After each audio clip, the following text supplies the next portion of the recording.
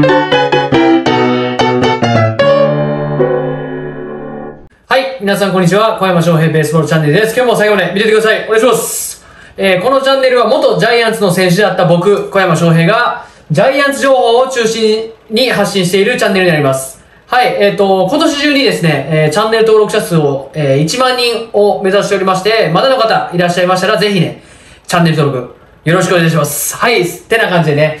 あのー、今日もやっていきますけども、やっていくんですけども、あのー、先ほど終わったね、ジャイアンツ対スワローズ、えー、ジャイアン、巨人対、えー、ヤクルトの、えー、試合解説をちょっとやっていこうかなというふうに思います。はい、えーと まあこれ、今視聴者の皆さん、これ点数見てくださってると思うんですけども、これ見てください。これ。何これ？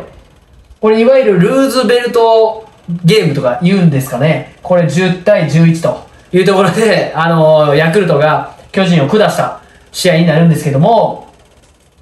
まあね、あのー、普通野球ってね、そんな点数入らないんですよ。うん、普通はそんなにちゃんとね、野球をやってれば、普通のちゃんとした野球をやれば、こんな点数入らないんですけども、まあこんだけこう10対11になったっていうことは、お互いにね、お互いのチームが、良くないところもあったし、まあ逆によく、いいところもあったっていうところが、えー、あったんでね、こんな10点、で、11点も取られる、10点も取られるみたいな試合になったっていうところですね。はい、えっと、まあ、これね、この得点板の下に、この、誰がタイムリー打ったとかいう風に書いてるんですけども、もうこれいちいち全部読み上げていくのもう僕、めんどくさいし、あの、今日もこの試合腹立ってるんで、あの、主にちょっと流れて、この流れをね、説明して、していきたいと思います。まあね、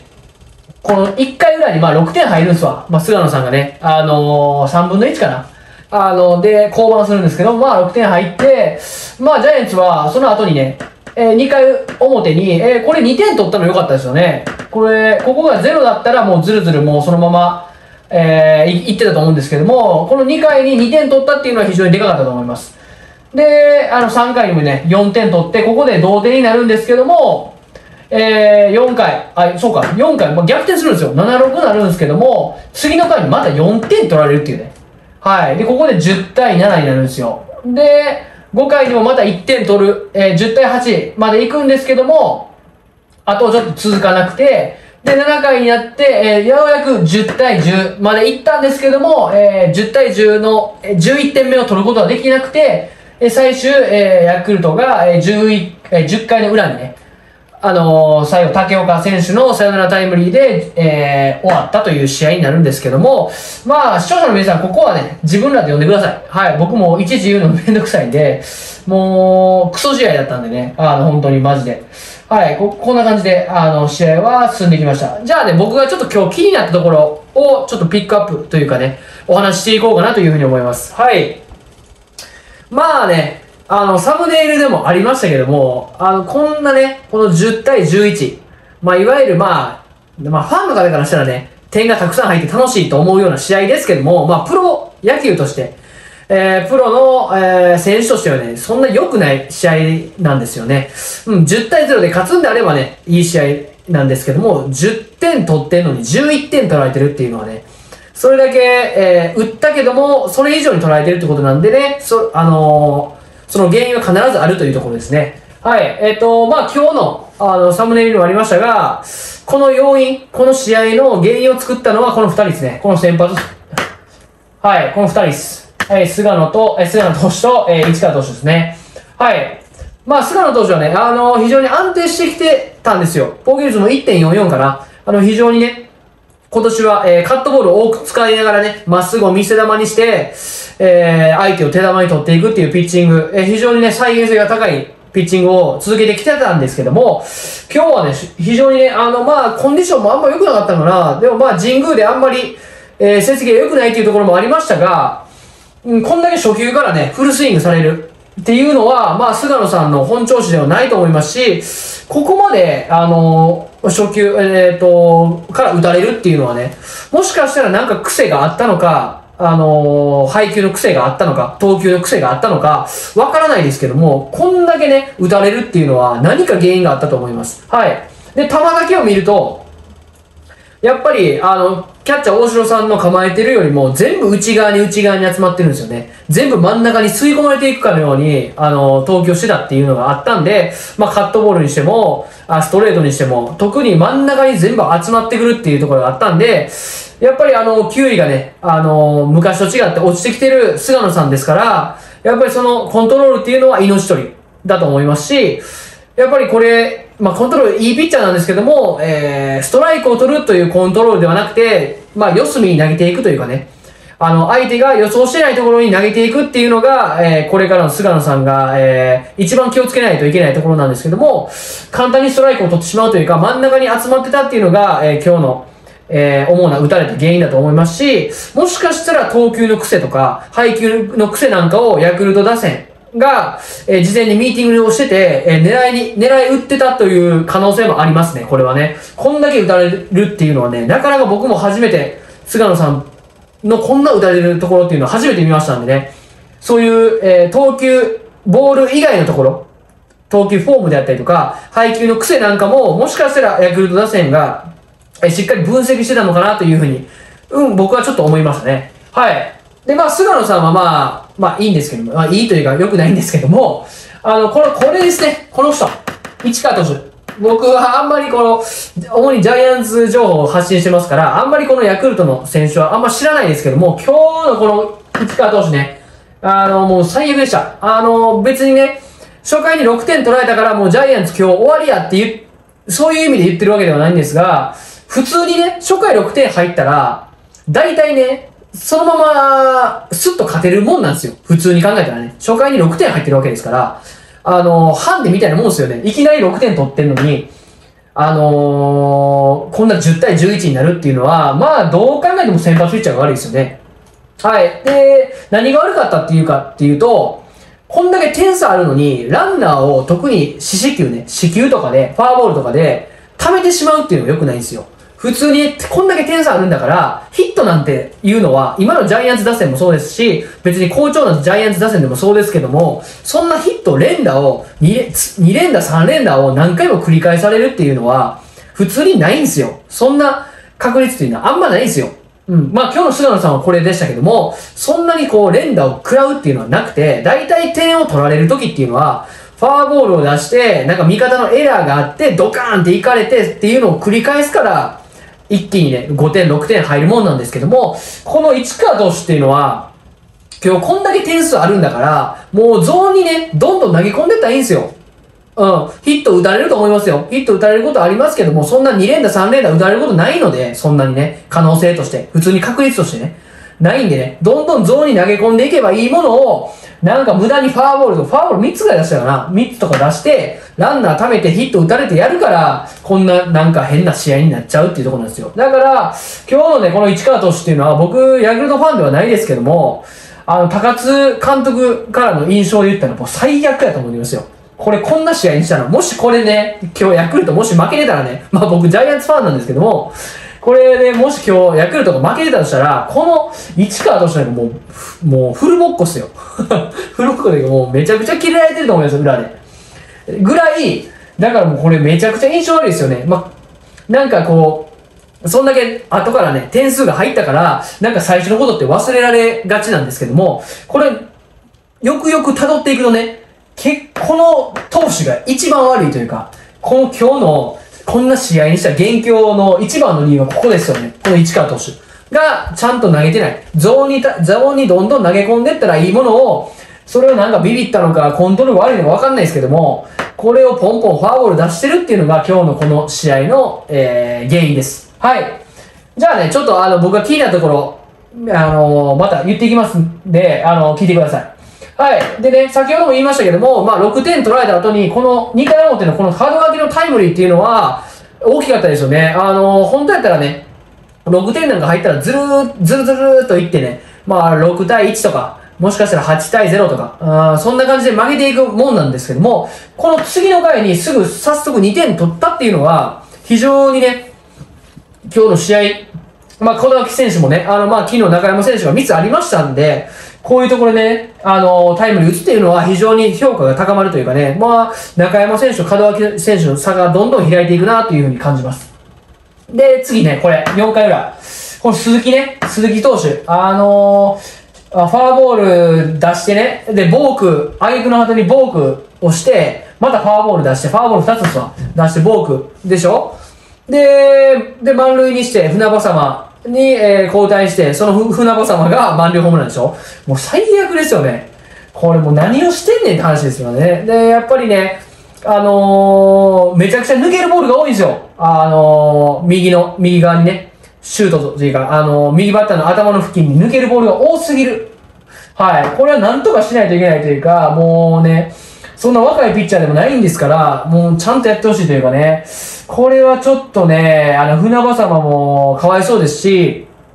あの、ちょっとこれね、このリズム乗り切れないところの原因なんですよ。こうやってファーボール出したり、まあ、ボーク、まあ、ボークはあんまないですけども、普段ね。こうやってファーボール出して、やっぱ野手っていうのは人間ですから、そんだけね、その、守備のテンポが悪いと、バッティングの、あのー内容にも影響してくるんですよ。やっぱりね。だからそういうところで、えー、この鈴木っていうのも最悪だったと思うんですけどね。はい。で、次ね、ちょっと飛んで7回表になるんですけども、今度はね、ちょっといいところを言っていこうと思うんですが、ワンアウト1、2塁から吉川選手がね、2ボール1、え、2ボール、じゃあ、ワンボール2ストライか。ワンボール2ストライクという追い込まれた状況で、ファーボールを取るんですよ、この状況から。このファーボールすごく良かったんですよね。で、この後にね、えっと、満塁になって、えー、ウォーカーが、えー、センターへのタイムリーヒットを打ったっていうのがあるんで、このね、吉川選手のこのワンボールツーストライクから、えー、粘ってね、ファーボール取ったっていうのがものすごく大きかったと思いますね。非常にこれ、な、直樹さんのね、この状態が上がってる証拠だと思いますし、このフォアボールっていうのは、い、あの、一見な、誰も取り上げないかもしれないですけども、これ非常に僕は大きかったと思いますね。はい。で、その後、ウォーカーが打った後、ここですね。今日のターニングポイント。えー、巨人が勝ちきれなかったポイント、ここです。はい。ワンアウト1、2塁。同点の場面ですね。10対10ですよね。10対10の場面で、えー、まあ今ジャイアンツで言うと一番ね、あの、信頼できるバッター2人、秋広、岡本というところで、この2人がワンアウト1、2塁で凡退したっていうところ、10対10で、えー、11点目を取り、取りきれなかった。この場面で取りきれなかったっていうのが今日のジャイアンツの敗因になります。はい。まあね、打てないのはまあ仕方ない時もあるんですけども、まあ二人いたらね、どっちかが何とかしてほしかったなという思いが正直ありました。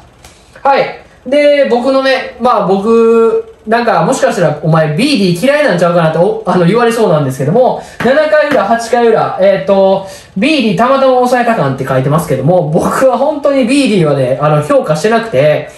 あのー、今日抑えましたけど、7回裏、8回裏、抑えましたけども、BD を見てるとね、えー、逆玉多いは、えー、空振り取れへんは、あのー、インクサイドに投げ込むこともできないわっていうところで、あのー、もうストライクを取るのに必死というかね、バッターと勝負してない、駆け引きしてないというかね、あの、自分の投球に精一杯っていうところがあるんでね、あの、僕はもう、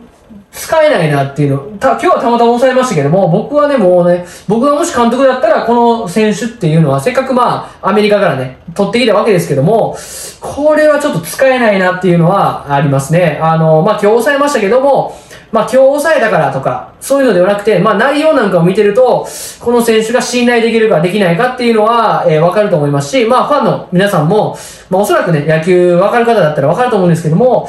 まあこれ今日に関してはね、たまたま抑えた感がすごいので、うん、僕だったらもう、うん、なかなかもうね、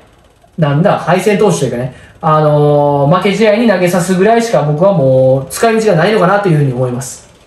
で、これ最後ね、10回表、えっ、ー、と、マッスーがね、えー、先頭の増田大輝が、えー、センターフライ打つんですけども、非常にね、この、抜けるかなっていうところだったんですけども、このセンターの山崎選手がナイスプレーで、えー、飛び込んでジャンプ1番で取ったんですけども、まあ、このプレーがあって僕、ああ、これ今日負けやなって思いました。はい。あんなすごいプレーをね、えー、見せられて、次の回、えー、山崎選手からだったんですけども、まあ、山崎選手は、えー、残念ながら凡退したんですが、次の中村選手がツーベース打った時点でね、もうこれはね、えー、ヤクルトの勝ちだなというふうに思いましたし、あの、最後もね、竹岡選手がレフト前に放ってサヨナラ打ったんですけども、まあ非常にね、あのー、ナイスプレーだったと思いますし、まあこれで、ね、流れ変えてたと思い、変わったと思いますし、逆にこれがもし抜けてたとしたら、ジャイアンツが勝ってた可能性も、えー、あったと思うんですけども、これを取ったことによって、まあ、おそらくヤクルトがもう勝ちやなっていう、ほぼ90%勝ちやなっていうのは僕はこの時点で思いましたんで、まあ、案の定、まあ、中村選手がツーベースで出て、まあ、最後、竹岡選手が、まあ、申告敬遠か。申告敬遠して、最後、竹岡選手が、えー、ヒット打って終わりと。いうところで、まあ、こうやってね、野球には流れがありますんで、こういういいプレーが出た時とか、逆に走塁ミスみたいなのが出た時っていうのは、えー、点を取られますし、逆にいいプレーが出た時っていうのは次の回点取る可能性が高いですし、そういうね、まあその、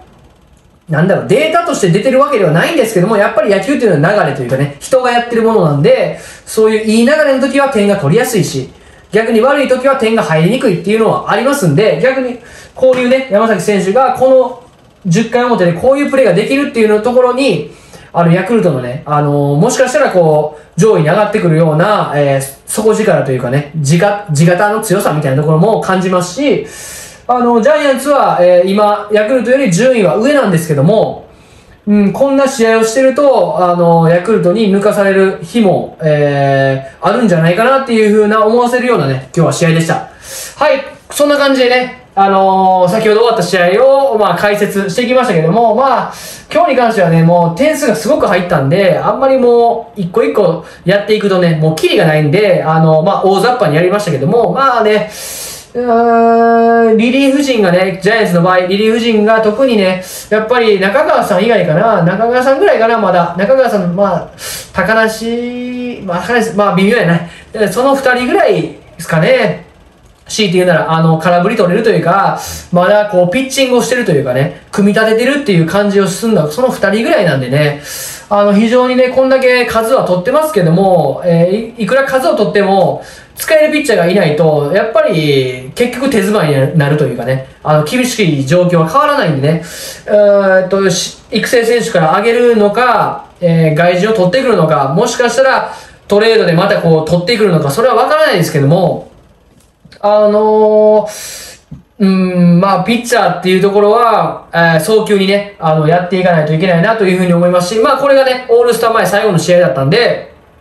まあ、ちょっとあの、休憩という、休養も挟みますんで、ちょっとリフレッシュしてね、あの、後半戦は、えー、しっかりね、戦っていってほしいなというふうに思います。はい、てな感じでね、元ジャイアンツの選手だった僕、小山翔平が、ジャイアンツ情報を中心に、えー、発信している、えー、チャンネルになります。はい、本当にね、毎日動画を YouTube にアップロード、えー、してますんで、こいつなんか、はっきり忖度、忖度なしで言うなとか、あの、黒板使ってなんか授業みたいで見やすいなとか思ってくださる方、もしいらっしゃいましたらね、ぜひね、チャンネル登録よろしくお願いします。はい、えっ、ー、と、今年までにね、今年中にね、1万人達成したいというふうに思ってますんで、ぜひね、あの、チャンネル登録であったりとか、えー、コメントもそうですし、えー、高評価も、えー、そういうなんか、視聴者さんのね、そういう一つ一つの行動というかね、あの、そういう、えー、なんだろう、行動がね、あの、僕の、あの、動画をアップロードする、えー、なんていうんだろう、源というかね、嬉しい、あなんていうの、気持ちになりますんで、あのー、頑張ろうという気持ちになりますんで、ぜひね、そういう、えー、チャンネル登録であったりとか、えー、なんだ、コメントであったりとか、高評価も、えー、よろしくお願いします。まあ、ここで、ここまで見てくださってる方っていうのは、コメントというかね、自分の思いみたいなのが必ずあると思いますんで、ぜひね、コメントして、えー、僕とディスカッションしましょう。えー、すべてね、えー、全部、あの、僕返信してますんで、ぜひね、えー、コメント欄、えー、自由にね、議論の場だと思ってもらえたらいいので、ぜひね、コメントもよろしくお願いします。はい、てな感じでね、今日は夜遅くなりましたけども、はい、こんな感じで終わってきます。えー、後半戦ジャイアンツ、えー、頑張ってもらいたいなというふうに思っております。はい、そんな感じで今日は終わってきます。では、えー、最後まで見ていただきありがとうございました。えー、これからもよろしくお願いします。ではでは、じゃあねーバイバーイ